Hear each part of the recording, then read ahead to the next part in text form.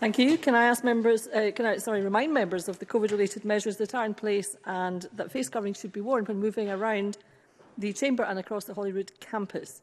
The final item of business is a members' business debate on motion 2621 in the name of Alexander Stewart on the Asda Foundation and its community work. The debate will be concluded without any questions being put. I would ask those members who wish to speak in the debate to please press the request to speak buttons now And I call on Alexander Stewart to open the debate. Up to seven minutes, please, Mr Stewart. Thank you, Deputy Presiding Officer. I am very grateful for the opportunity to open this member's business debate this evening, and I thank colleagues for their support in securing the motion. Coronavirus and its restricting practices have dominated nearly everything in our lives for the last few years. In many cases, we have resulted in tragic results for many, and my thoughts and deep condolences go out to individuals who have lost loved ones and friends in its wake. Bad news has dominated nearly all forms of press and media on a daily basis, and sadly, it has uh, had a real effect on individuals across communities. However, if we scratch the surface beneath, uh, we will begin to expose some real positives which have emerged from the pandemic, and it is uh, with that respect I would like to discuss this evening one shining example of positiveness uh, we have seen uh, uh, that has really been uh, talked about has been the community resilience that's taken place. Prior to the pandemic, we were all getting on with our normal lives, uh, and the pandemic came and shattered that. And it meant that some people seldom spoke to their neighbours or, or were socialising with them at, at all. Uh, and when the, the seriousness of the, of the COVID pandemic became apparent, uh, it, it began that, that, that things started to break down within communities and that became apparent people took to helping each other uh, in, in calling out to neighbours, albeit from a distance, and many local businesses started to put together support mechanisms to ensure that elderly, disabled and housebound individuals were supported. Uh, and that has to be commended. Community spirit and resilience has become a, a shining example, uh, uh, and that has not that maybe been the case since maybe the Second World War, uh, Deputy Presiding Officer. Uh, and although there has been a myriad of local businesses all working with great uh, opportunities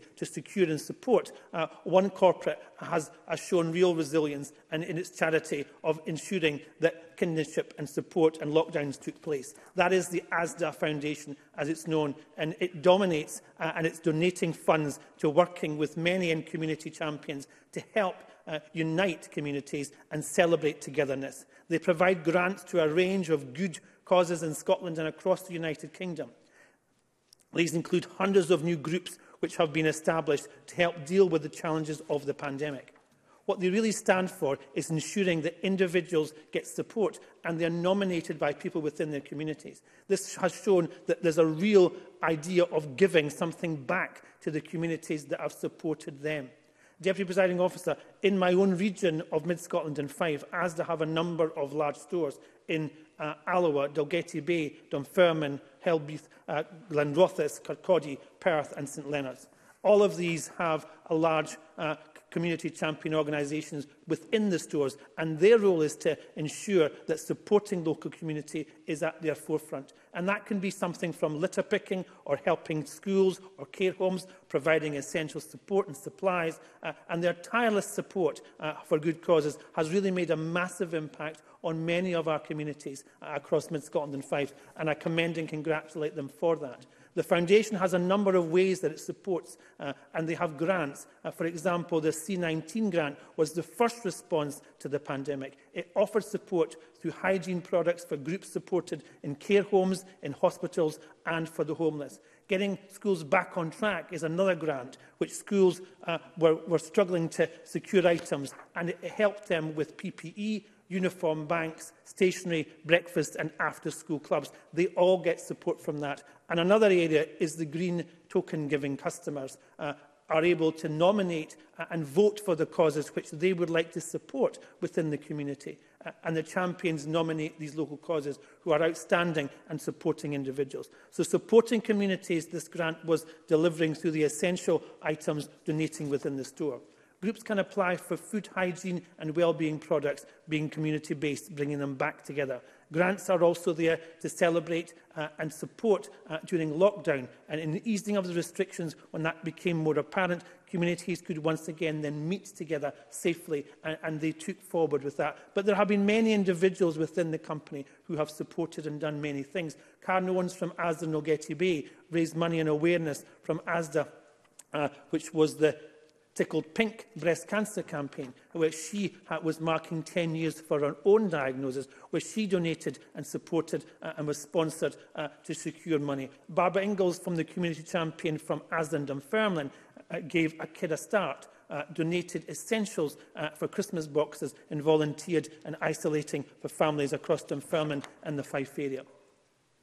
Michelle Stevenson, the community champion from and Glenrothes, donated large amounts of vegetables to Leslie Community Pantry uh, to provide support and, and made sure that that was happening over the Christmas period. And Finlay, uh, David Finlay from Click and Collect team, he went the extra mile in supporting and ensuring that individuals who could not receive support and were not getting their homes and their shopping delivered, he went out of his way to ensure that that took place.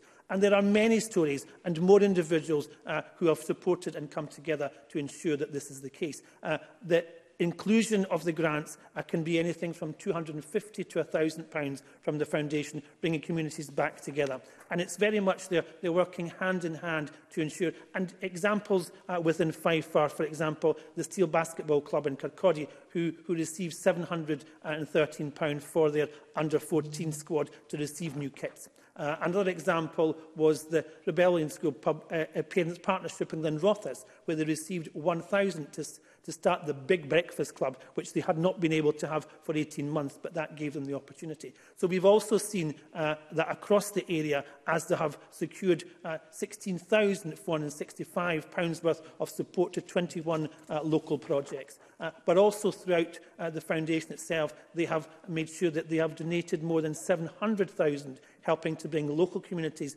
back together again in addition to supporting individuals. So in conclusion, Deputy Presiding Officer, I would like to pay tribute to each and every group each and every individual and community champion and ASDA for their outstanding work in supporting communities the length and breadth of Scotland. I commend and congratulate them on their endeavours, their foresight and their community resilience. Each and every one of them has gone that extra mile to step up and stand up to support individuals and communities. It just goes to show what can be achieved when we all work together under the banner of community resilience. I wish, as the Foundation, all the best as it continues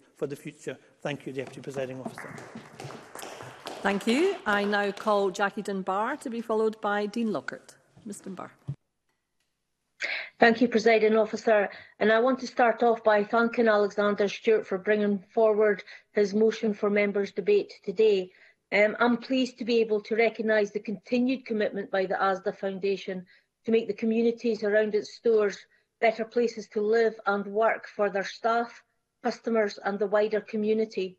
The ASDA Foundation has been able to give back to the communities, as we've heard, and that they serve and that through the Bringing Communities Back Together project. This project gives grants to local groups and organisations which have helped to reunite communities, celebrate togetherness and support groups as they resume their activities in person. In my constituency of Aberdeen Donside, there have been a few groups which have benefited from the funding through this project, project such as North Star 2010s, Dice Boys Club White 2006, and organisations such as North East Sensory Services, who support individuals across my constituency as well as the wider North East region. Further to the Bringing Communities Back Together project, the ASDA Foundation is able to give back to communities through the Green Token Given Scheme, which I'm sure anyone who shops in ASDA will be familiar with. The scheme creates a form of local democracy and empowers customers and their community to decide which small local grassroots organisations they believe should get funding.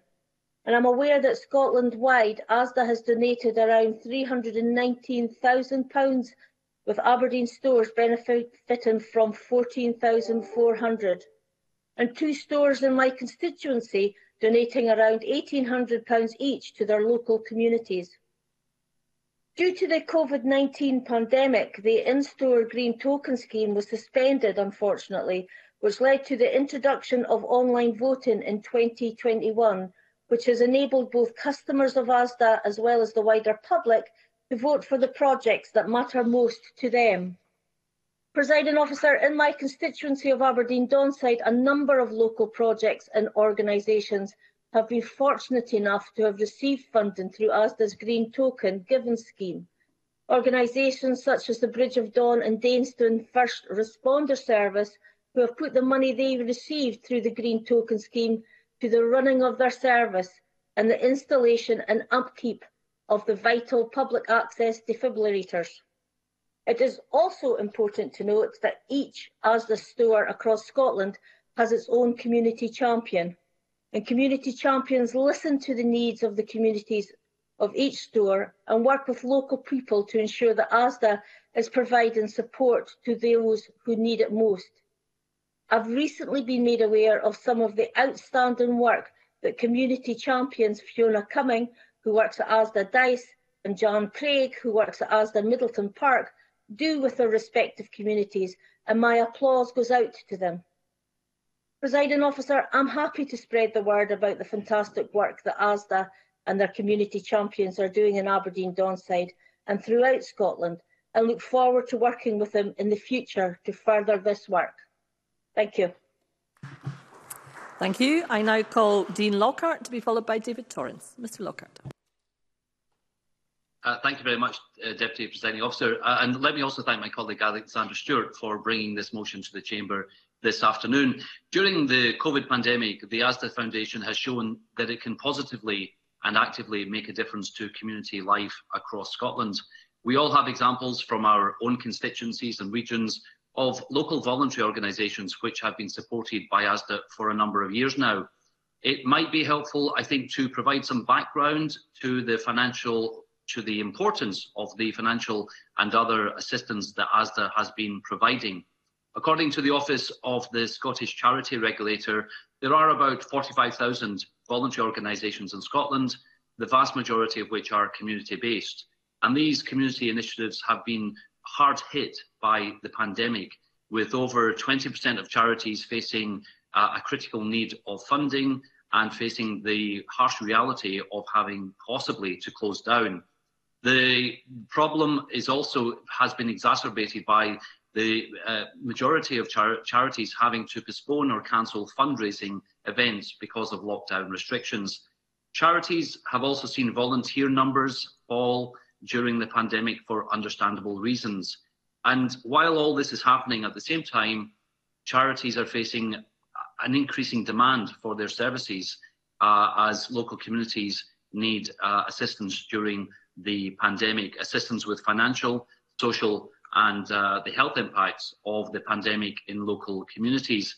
And uh, with this challenging background, one of the important ways in which the ASDA Foundation has been able to support is to provide grants to a range of good causes in Scotland, including hundreds of new community groups which have been established during the pandemic.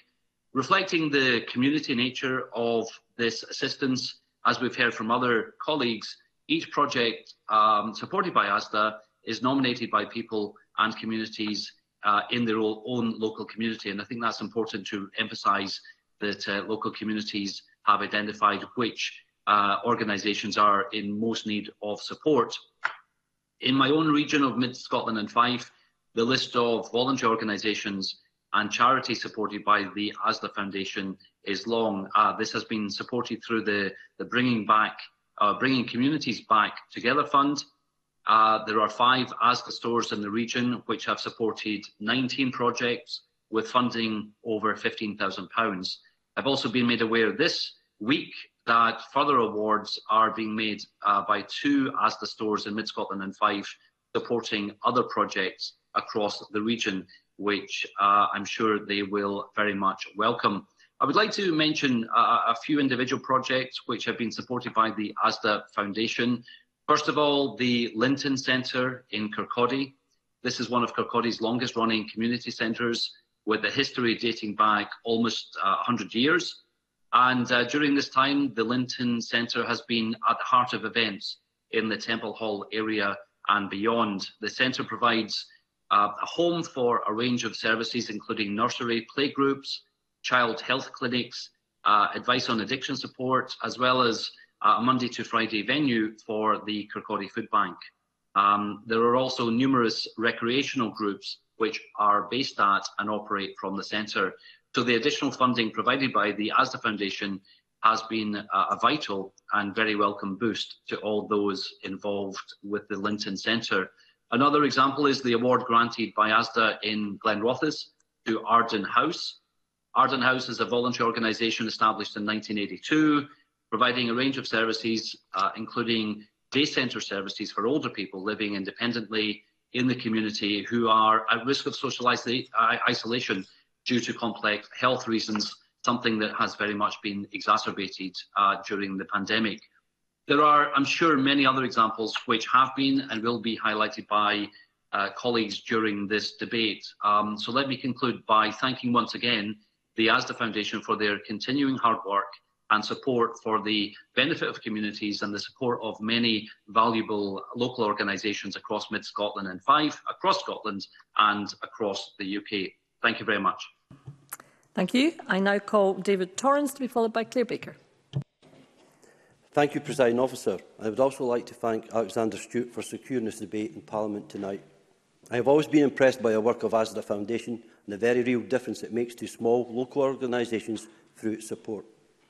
As we all know, there have been many new groups established to help people deal with the challenges being faced as a result of the pandemic, and the extended work of the Foundation will have a significant positive impact on many local communities in a variety of ways.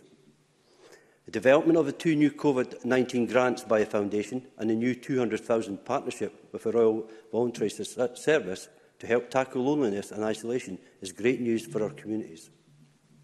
The Healthy Holiday Grant, which allows groups who would typically be holding summer holidays activities, providing a healthy and nutritious meal to children to continue, and the hygiene grant aimed at patients and residents of hospices or care homes, which will provide invaluable support to some of the most vulnerable in our communities and those most affected by the pandemic.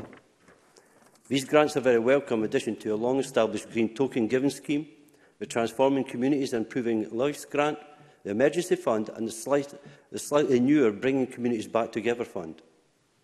This grant was launched to help reunite communities, celebrate togetherness and support groups as we continue to re recover from the coronavirus pandemic. And I was delighted to learn at the end of last year that local causes in my constituency, including the Linton Lane Centre and the Galton Community Group, benefit from just over £3,000 of funding. In these challenging times, the money will be of great help to these groups. We've heard, already heard this evening from my colleagues some of the numbers involved, such as the 1 million that is invested in over 4,000 local good causes every year. I won't repeat what has already been said, but I do want to touch on what I feel is of great importance. The fact that each project supported by the Foundation is nominated by local people and communities. It is thanks to these community engagement, input and feedback that this investment reaches the grassroots groups and organisations that we need it most. The groups in my constituency, including the Wee Blues Rugby Fife uh, Club, Fife Migrants Forum, Fife Steels Basketball Club, Linton Lane Centre, Kirkcaldy Food Bank, Parfed Pensioners and Nourish are amongst those to have benefited from the Foundation and to great advantage. There are all significant community groups and resources that make a big impact on local communities and are recognised as such by local people. Whilst community engagement is important, and I will continue to be so, no debate about the work of the Foundation would be complete but with acknowledging the vital link that is made by ASDA's community champions. In Kirkcaldy, our champion is Jean. And since first being elected in 2011, I have had the opportunity to work closely with her and ASDA's Kirkcaldy store.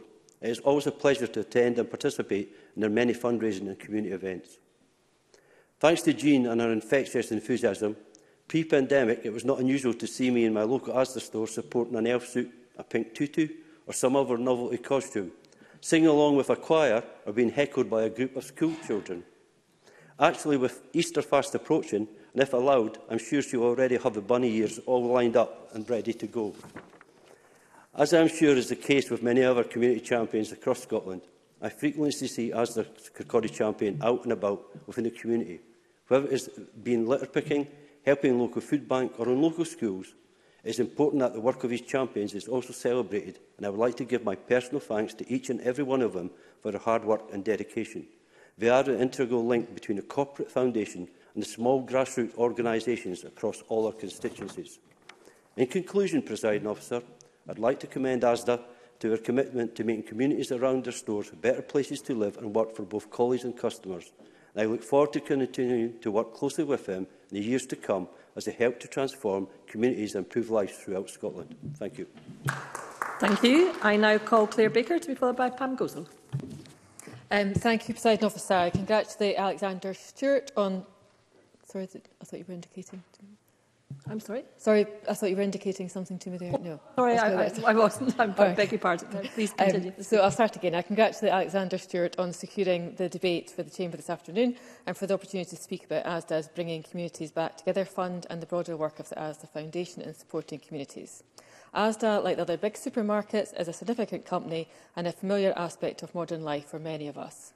More recently, we have perhaps talked about supermarkets when considering the retail sector and supply chains.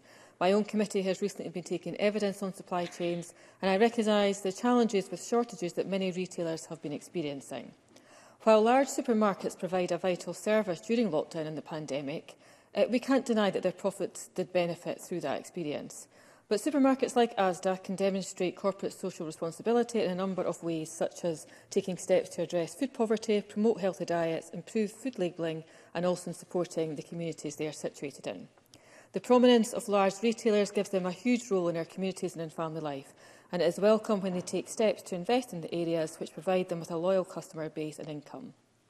Many people rely on large supermarkets, perhaps for financial or geographic reasons, and for some the convenience of being purchased, able to purchase everything in one place is critical.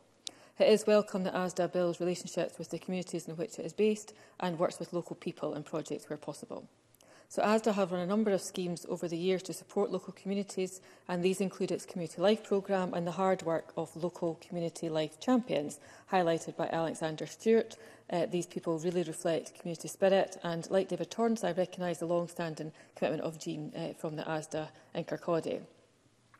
Uh, through the pandemic, the ASDA Foundation has awarded over 700,000 across Scotland, including over 72,000 in Mid Scotland and Fife. Through its Green Token Giving Awards and Grant scheme, 174 local groups have benefited and I know how much that is valued. A key part of this support was the Bringing Communities Back Together grant, introduced as lockdown restrictions eased to help provide community groups with funding for celebratory events and items that need to get back on track. The five ASDA stores across Mid Scotland and Fife region have supported 19 local projects with a funding of over £15,000. Among the groups to benefit from the fund are Five Steel Basketball Club in Kirkcaldy, who were granted funding for new kits, and Rimbleton Primary in Glenrothes, who used the grant to restart their Big Breakfast Club. I am pleased to have this opportunity to recognise and welcome the work of these schemes and the hard work of those involved and the support it has provided to communities as we emerge from the pandemic. Throughout the pandemic, we saw the strength of our communities in supporting those in need, from the setting up of soup kitchens in people's homes to deliver to the vulnerable, isolated and elderly, to the creation of buggy walk groups to help new parents meet others in the area. I am grateful to individuals, organisations and businesses across my region who have come together to establish ways to help with the challenges of the COVID-19 pandemic and with recovery. But too often these community groups are responding to an absence, these community grants are responding to an absence of provision elsewhere. The increase in food bank donations during the pandemic was praised, but the fact that so many had to rely on these services reflects a broader failure. Far too many people have been left struggling over the past two years as the impacts of the pandemic have pushed many of those who are already struggling further into difficulty.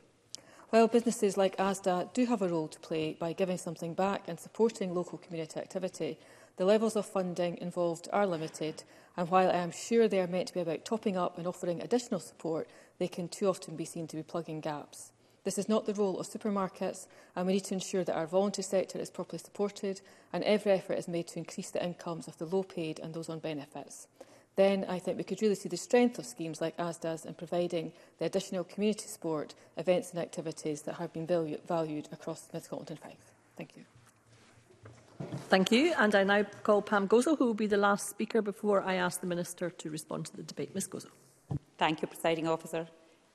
It is great to stand here today for members' business, especially given the uplifting and positive nature of this motion.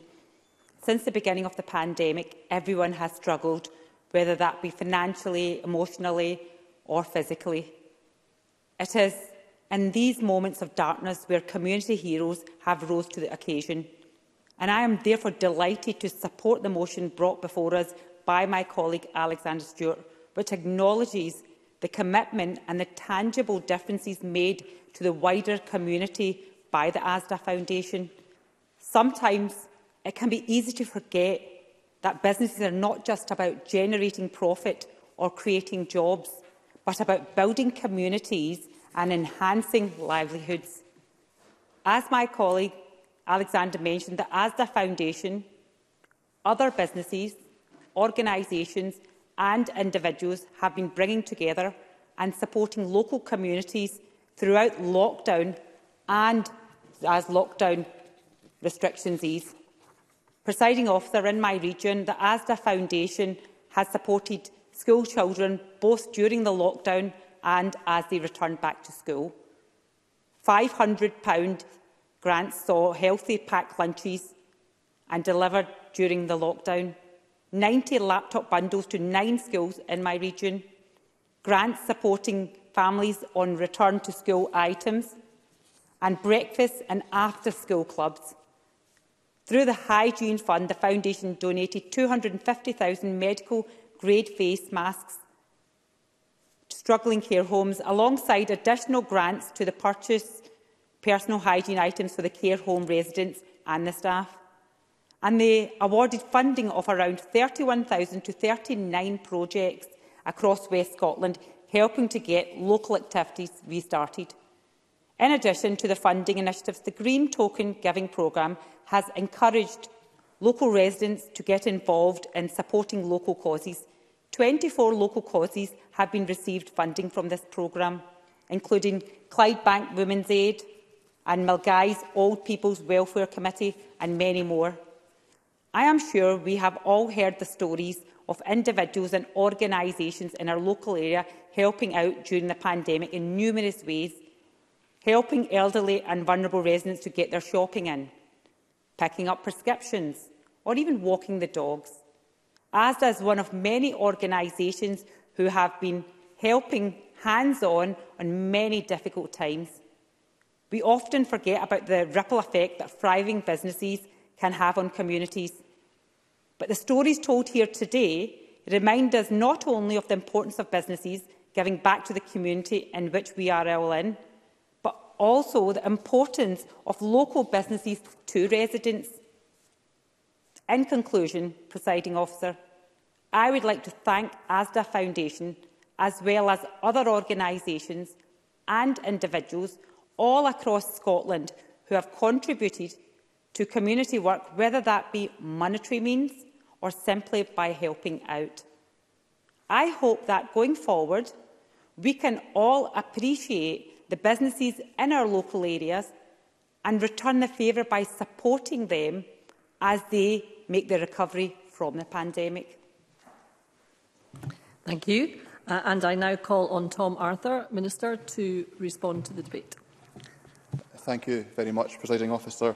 And can I begin by congratulating Alexander Stewart on securing this excellent debate. And it's been an absolute pleasure to hear from members across the Chamber and virtually of the outstanding work that the ASDA Foundation has been doing in their constituencies and regions. Uh, before turning to the substantive part of the, my response to the motion, I'm sure the whole Chamber would want to join me having heard the speech from Mr David Torrance about his, his endeavours to support the Asda Foundation, if indeed he wears novelty costumes and indeed a pink tutu.